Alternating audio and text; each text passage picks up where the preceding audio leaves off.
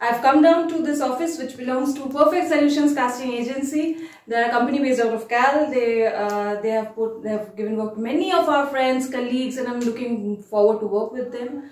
Uh, I've come and met uh, Shanuda until after a very very long time. Thanks to them for calling me, and uh, hope to come here again. Cheers.